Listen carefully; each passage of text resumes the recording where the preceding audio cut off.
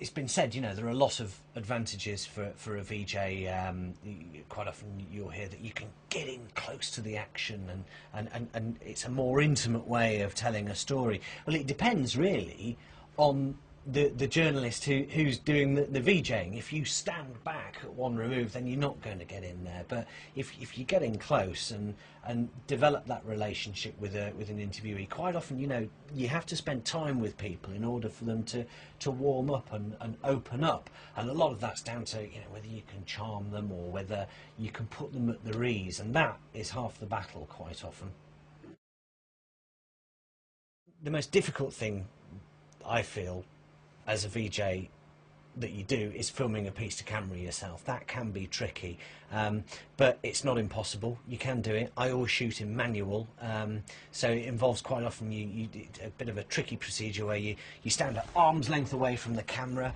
You uh, you put your hand where your face was. Get round the back of the camera. Make sure your hand's in focus. Then stand back where where the hand was, then check the exposure uh, and, and go from there. You can also do moves as well. If you've got the pan just below the camera, you can do a cheeky little uh, uh, pan or you can pre-program a Z1 or a Z5 to, to zoom out or zoom in when you do a piece to camera. But I would say that's probably the trickiest thing you do as a VJ.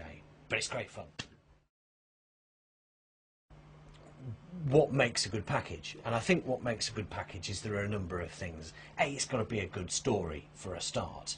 Um, secondly, if you've got a good interviewee, if the actuality is, is, is, dynamite, that always helps as well. If they're a strong talker or passionately believe in something or, you know, are, are telling an amazing story themselves, that's great. But there are, you know, you, you can do with with with a more medium weight story if you like if it's not a, a lead item for example you can still make it a good piece by approaching it in an imaginative way and not necessarily doing a, a formulaic package. If you have a of an idea whether it's a, a a pastiche a, a, of a film that would work. I did a piece recently um, about Bournemouth, um, except Bournemouth and Poole adopting uh, the, the euro as, as legal tender, and we, we started it off with a, a, a, third man pastiche on a park bench with a with a chap from, from, from the council, and that, that worked well. It's just different and imaginative ways into it, even if it's something as simple as the way you frame an interview or a shot that gives you a different perspective on things. In a way, I enjoy that most about being a VJ because that's when you can truly be creative.